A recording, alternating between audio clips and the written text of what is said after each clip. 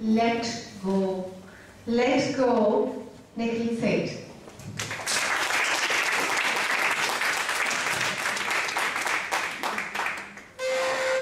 Clench your fist on a pile of sand and it slithers between your fingers. Open the hand. What happens?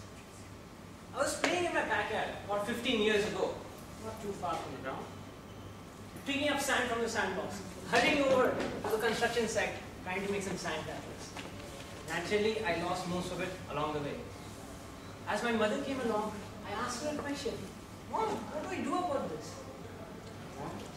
Infinite wisdom, replied, Son, clench your fist. Open your hand to carry this. But mom, I'll lose most of it. "Hmm, You were losing most of it anyways? Go of the rest. Focus on what you have. See how much you can. Combine your hands. Madam Contest Chair and my fellow Toastmasters. To let go, to let grow. This is a phrase we hear in families, relationships. But why do we see it disappearing as we climb up the social ladder? Schools, colleges, organizations, governments, even religion. Why do we see so much demand for tighter rules, restrictions, and regulations? Why is there so much demand for better control of life? Is life a prison that we need to enforce with bars? And the question always remains, who will guard the guards who are trying to guard us? Today, I wish to take you all on a journey of the disadvantages of a clenched fist and the possibilities of a better approach. Part 1, the clenched fist. Soviet Union, 1991. Wall Street, 2008. Glowing examples of capitalism and communism.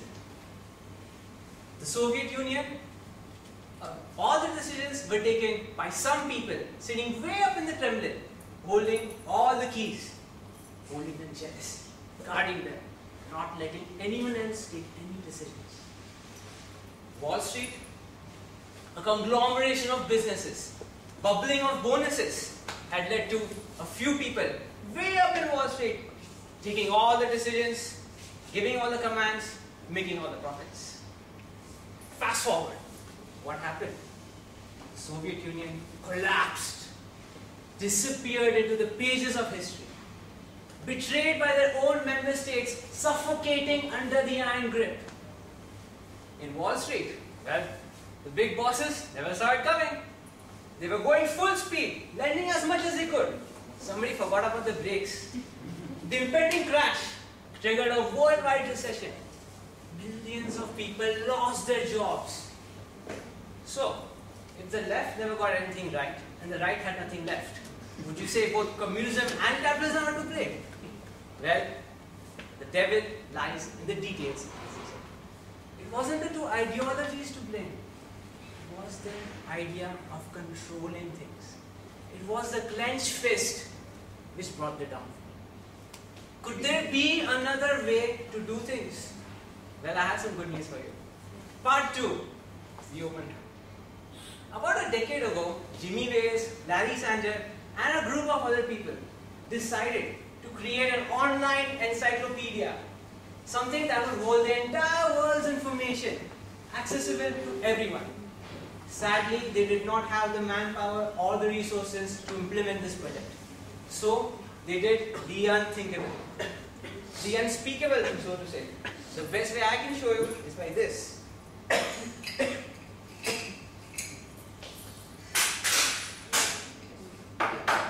They opened the locks. They made a site that anyone could come in, edit, add content, whatever they wanted, and they let go. The critics at the time lambasted the idea. They said this right is doomed to failure. Who would put any content there? And how would you protect it from the vandals? Well, what the critics did not keep in mind at the time was that every one of us, including everyone in this room, has this innate, inherent ability to care, cooperate, and collaborate with each other. For every one person who vandalized this website, another 10 of us stepped in to fix it back up. Does anybody know what I'm talking about? Wikipedia. That's right, ladies and gentlemen. Today, Wikipedia is the number one encyclopedia in the world. It has millions of articles more than their closest competitors. This idea has caught on like wildfire.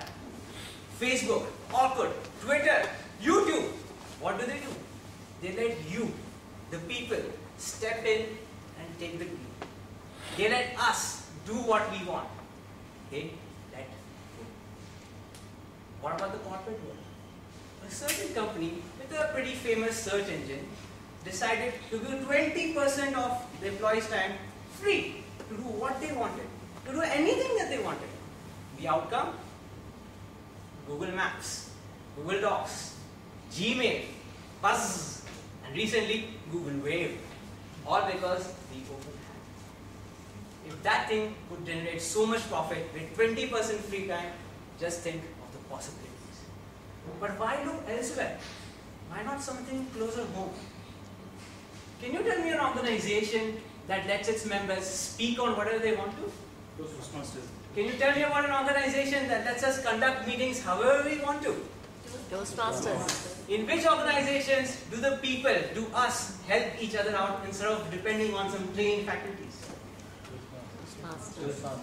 In which organization does everyone pay $4.5 a month, whether it's a simple new member or the district governor? Yes, ladies and gentlemen, Toastmasters.